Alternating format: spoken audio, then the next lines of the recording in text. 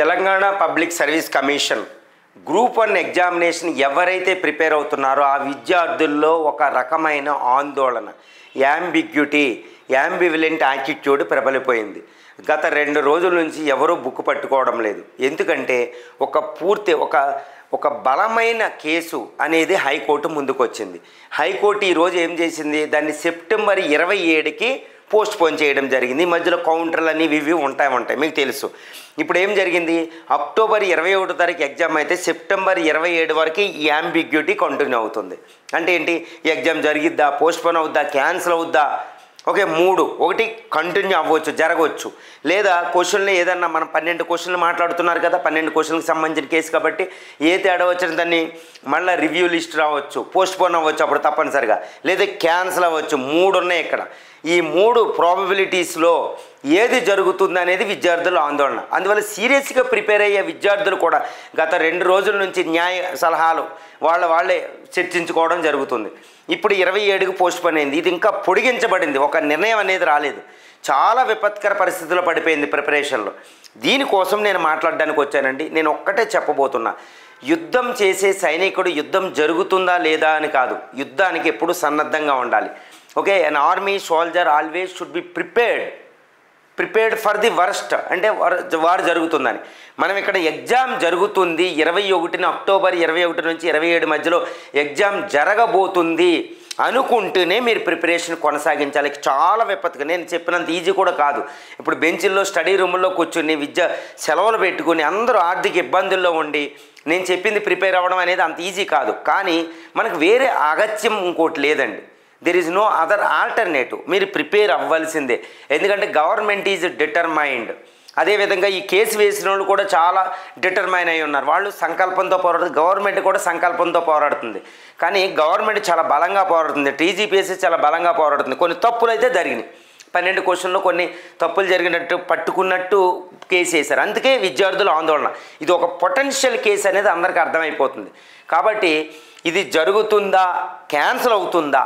లేకపోతే post phone అవుతుంది. ఎందుకంటే ఒకటి రెండు వచ్చినా మీకు మళ్ళీ రీనోడ్ రీ లిస్ట్ ఇస్తే మళ్ళీ పోస్ట్ పోన్ మూడు నెలలు జాన్యువరి అలా వెళ్ళిపోయే అవకాశాలు ఉంది. అలాంటి అవకాశం ఉందా లేదా అనేది చూస్తే మనం పట్టించుకోకూడదు. రెండు క్యాన్సిల్ అవుతుంది అనేది క్యాన్సిల్ అయ్యే క్వశ్చన్ అయితే ఈ నోటిఫికేషన్కి లేదండి. ఐదు వందల అరవై మూడు ఎట్టి పరిస్థితుల్లో జరుగుతుంది. ఎందుకంటే న్యాయ వ్యవస్థ కూడా మూడు సార్లు క్యాన్సిల్ అయిన తర్వాత నాలుగోసారి జరిగేటప్పుడు న్యాయ వ్యవస్థ కూడా అన్నీ పరిగణించుకుంటుంది. సో అలా అని ఇంకోటి ఏంటంటే ఎవరైనా విక్టిమ్స్ ఉన్నారనుకోండి వంద మంది ప్రయోజనం పొందడం కాదు. ఒక్క విక్టిమ్ ఉన్న కోర్టు ఒప్పుకోదు. ఆ విక్టిమ్కి న్యాయం జరిగేలా చూస్తాం. మన న్యాయ వ్యవస్థ లక్షణం మీకు తెలుసు. అందువల్ల ఏంటంటే ఈ నోటిఫికేషన్ జరిగే అవకాశాలే పుష్కలంగా మనకు కనిపిస్తున్నాయి కాబట్టి ముప్పై వేల ప్లస్ స్టూడెంట్స్ ఏం చేస్తారంటే ఈ న్యూస్ని ఇంకా కట్టేయండి. ఇంకా మీరు పక్కన పెట్టేసి మీ పని మీరు స్టడీ రూమ్లో వీటిల్లో కూర్చుని ప్రిపరేషన్ అవ్వడమే. ఎందుకంటే సెప్టెంబర్ ఇరవై ఏడు తర్వాత ఇంకొకసారి పోస్ట్పోన్ అయిందనుకోండి ఈ ఎగ్జామ్ జరిగిపోతుంది మీన్ వైల్లో. అది ఒకటి రెండు పోస్ట్ పోన్ అవ్వకుండా ఎట్టి పరిస్థితుల్లో ఇరవై ఏడు మీకు తీర్పు రాదు. ఇరవై ఏడు తర్వాత గవర్నమెంట్ టీజీపీఎస్సీ కౌంటర్ వేస్తే ఆ కౌంటర్ని మళ్ళా ఈ కేసు వేసిన వాళ్ళకి లాయర్కి పంపిస్తారు. వాళ్ళు అబ్జెక్షన్ రైట్ చేస్తారు.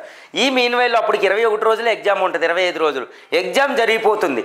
ఎట్టి పరిస్థితుల్లో మీ ఎగ్జామినేషన్ అక్టోబర్ ట్వంటీ ఫస్ట్ జరుగుతుంది. అనేది తెలిసిపోతుంది. కోర్టు కేసు అప్పుడు తెలియదు కాబట్టి. సో మీరు ఎవరైతే సీరియస్గా ప్రిపేర్ అవుతున్నారో లీవులు పెట్టి ప్రిపేర్ అవుతున్నారో ఆర్థిక ఇబ్బందుల్లో ప్రిపేర్ అవుతున్నారో it is the time to focus on the target ఎప్పుడు ఇదే మీకు విషమ పరీక్ష. మీరు ఆర్డీఓలు డిఎస్పీలు అవుతారా అనేది ఈ విషమ పరీక్షని ఎదుర్కోవడంలో మీకు ఉంటుంది. సో మీ ప్రిపరేషన్ వీక్ అవనివ్వకండి. ఓకే? ఏ వీక్ యాంబిగ్యూటీ మీకు ఎప్పుడు ఏంటంటే ఒక సందేహం అనేది ఒక సోల్జర్ని వీక్ని బలహీనపరుస్తుంది. Okay it this ambiguity suspicion weak ఏంది ది సోల్జర్ అనమాట ఆ ఫైటింగ్ స్పిరిట్ని మీ ఫైటింగ్ స్పిరిట్ పోకూడదు.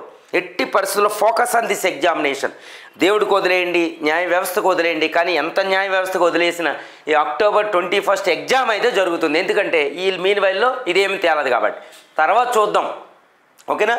Be prepared for the worst be prepare examination focus ఈ న్యూస్ని మీరు అట్టే కట్టండి. సచిన్ టెండూల్కర్ అదే చేసేవాడు. ఎగ్జామ్ క్రికెట్ ముందు వారం రోజులు పేపర్ చదివాడు వాట్సాప్ గ్రూపుల్లోంచి అన్నిటిలోంచి మీరు ఎక్కడికక్కడ పక్కన పెట్టి focus on the preparation examination will be going on మీకు examination will be taken place జరిగిపోతుంది.